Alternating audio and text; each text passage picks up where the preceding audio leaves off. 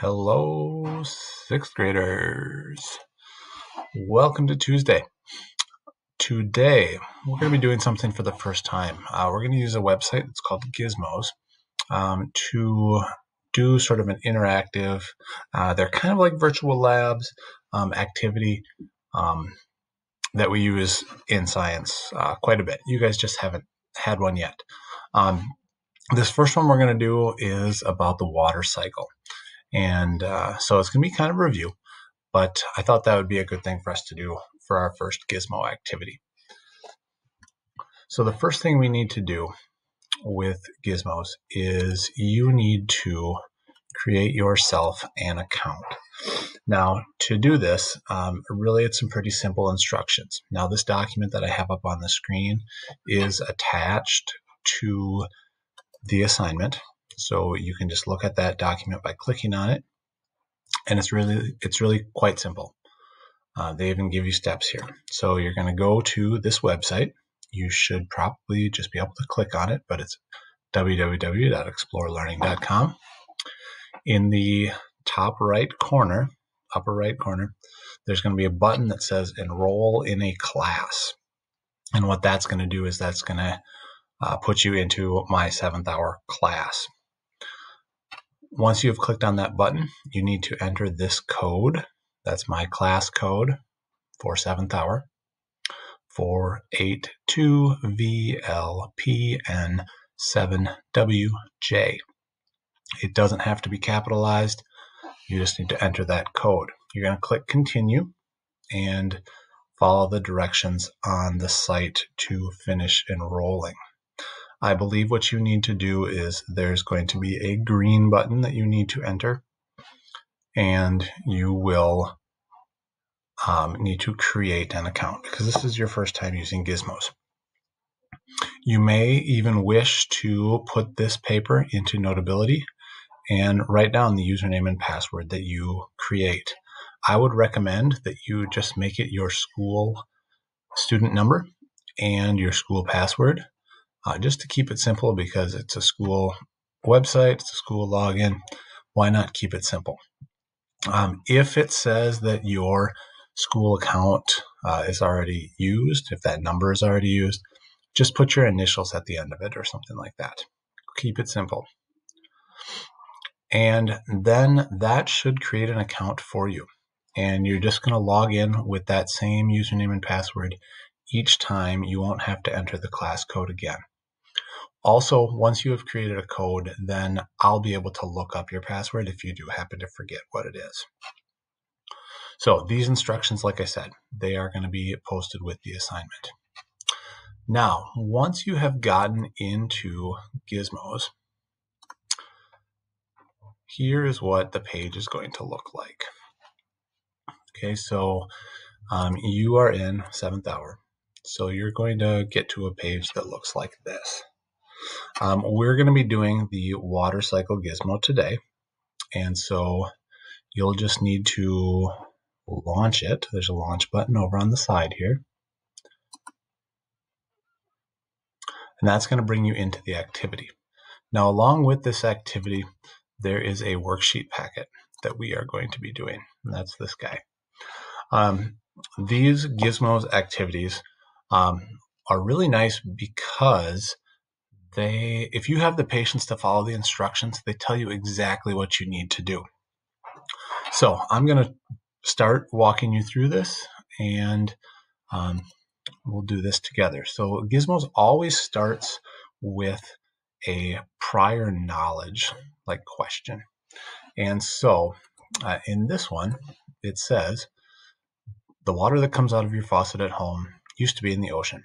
How did the water get from the ocean to your water faucet?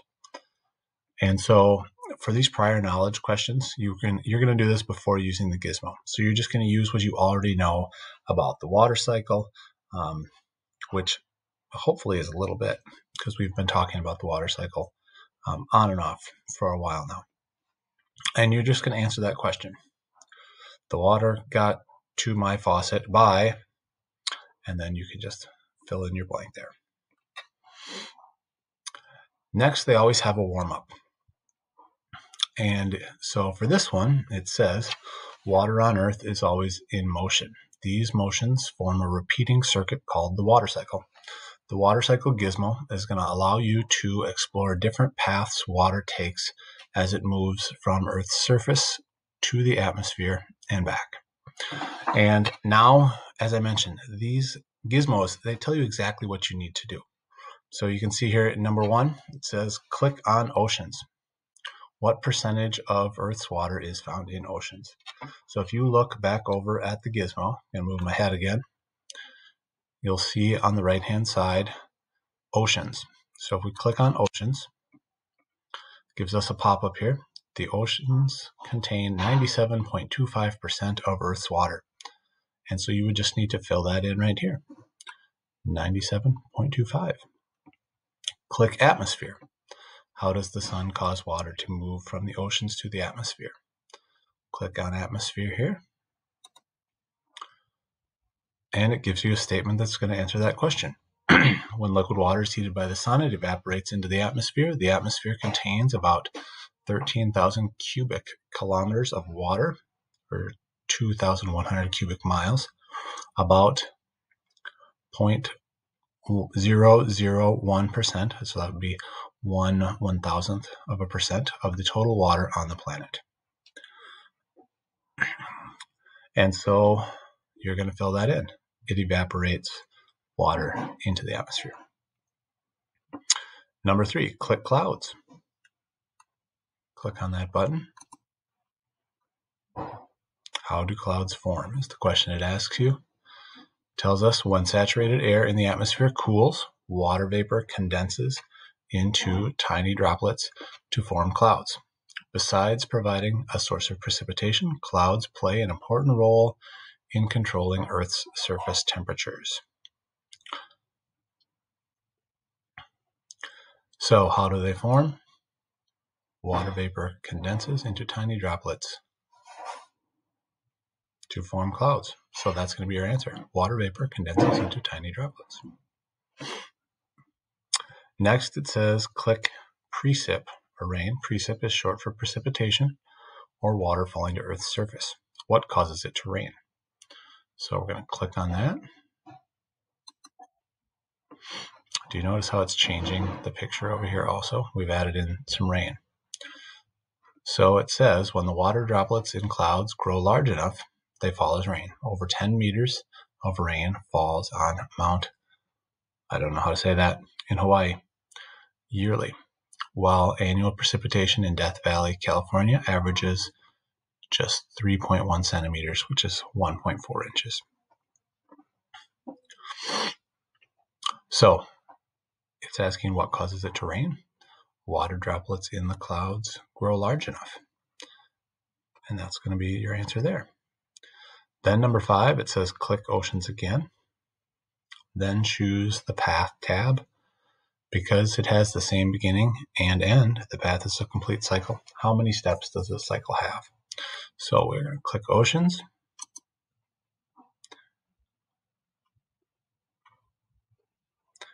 And then the tab that they're talking about is up on top here. Click that. and the path, it went from oceans. It evaporated to the atmosphere, condensed in the clouds when the drops got big enough. It was precipitation, and then it fell to the ocean again. So how many steps? One, two, three, four, five steps is what you would fill in here for number five. So as you can see, it really does lead you step by step through the activity. Now, if you have not already, pause this video and make sure you've gotten those answers all filled in before you restart. Welcome back. So we're going to move on to the second page now. So when you get into the activities, it will always give you some setup instructions if you need to do anything before you start. So it says here for the activity, we're going to select the simulation tab and click reset. So simulation is over here. And we need to find the reset button. It's probably behind my head. There it is.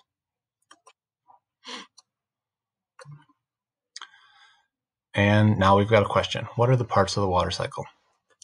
Collect data create two water cycles using the gizmo. Each cycle should have at least four steps and should begin and end in the same location. Choose any starting point from the list on the right. When the cycle is complete, choose the Path tab and write the steps below. So you can choose one of these. Why don't we just start right at the top? We'll start with agriculture. And then we need to choose another one. So we'll go person. Mm, from person, should we go up to atmosphere? And it's giving you pieces of information here each time. Does not appear as though you do need to, you need to write this down though. We're just creating a cycle. So we'll click atmosphere and gives us some information. Then we get clouds. Ooh, we need some snow. And it's going to give us some more choices here. Let's go with soil because we're trying to get back to agriculture. So I'm guessing we should go something related to agriculture. Soil. Aquifer.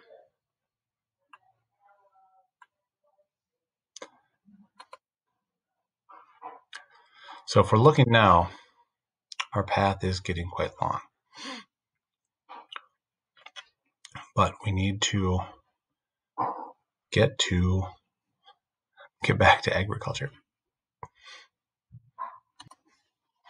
So I did a few more clicks um, and I've got quite a list here. So if I was completing this assignment, um, I would need to write down in cycle one this list but you can choose how your cycle moves. So if you can create a shorter one, um, please go ahead and do that.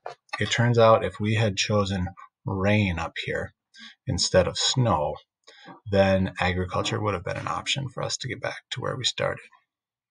So you're creating a cycle and you're listing this, the path that you're taking for that cycle on the worksheet. For step two, it says use the information presented in the gizmo to answer the following questions. And so if we go back to our simulation here, and you can reset it, you get the full list again. And so what I would use to uh, find these answers is that list. So the first question says, what percentage of Earth's water can be found in soil? So if you go on this list, find soil, tells you moisture in the soil makes up 0.005% of Earth's water. And so you would simply write that down.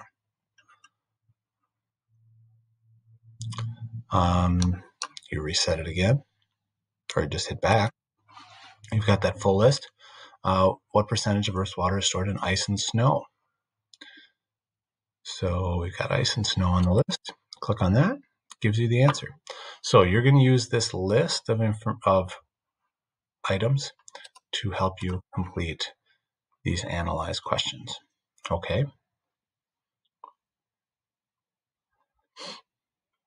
And then there is another activity. So we're at step three. So looking at number three here, it says a phase change is a change from one state to another, such as from a liquid to a gas. Based on what you've read in this gizmo, fill in the blanks with the word liquid, gas, or solid to define each change. Now, this may be information you already know. Um, if you do, go ahead and fill these in. Um, if you don't, um, these are words that were used in the simulation, and so we're hoping that you have kind of picked up on them as we go. So evaporation, that's going to be changing from a liquid to a gas. So you'd fill that in. Condensation is going from a gas to a liquid. That's what we should have seen yesterday when we were looking at the cold water in the glass. Melting, you may know this one, is when you go from a solid to a liquid. And freezing is when you go from a liquid to a solid. Now, number four says fill in the process that causes each transition. So your choices are evaporation, condensation, melting, and freezing. And so to go from ocean to atmosphere, which of these is going to have to happen? And so some of these you may know on your own. You can just go ahead and fill these in. Uh, but you can also use the gizmo if you're not sure. So if we click on ocean, it's going to give us our little piece of information about oceans. And then we click atmosphere. It says when liquid water is heated by the sun, it evaporates into the atmosphere. So that would be evaporation. You'd write that on the line. Atmosphere to clouds. So we're in the atmosphere. We click on clouds.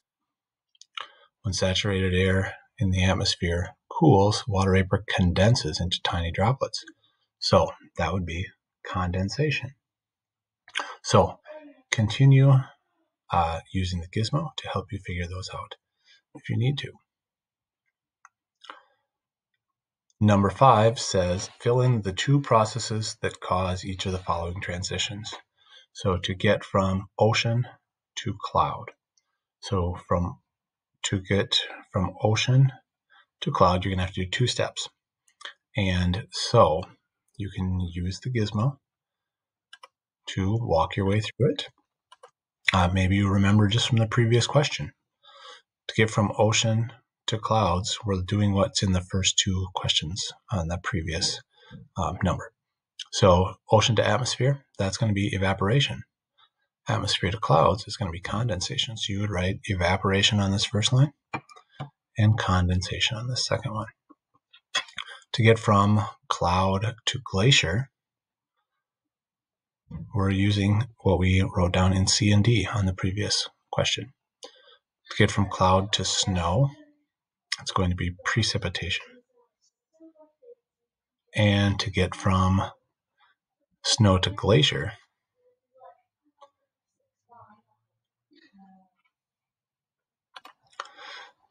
you would need to put melting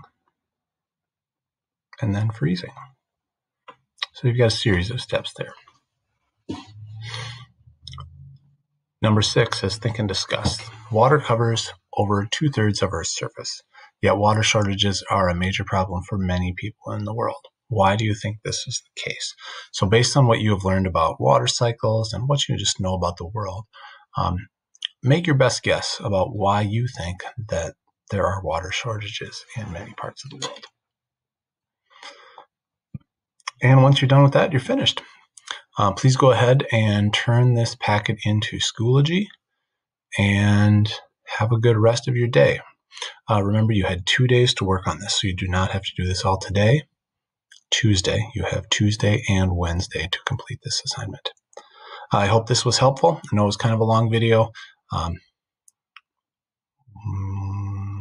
but hopefully it helped. Bye.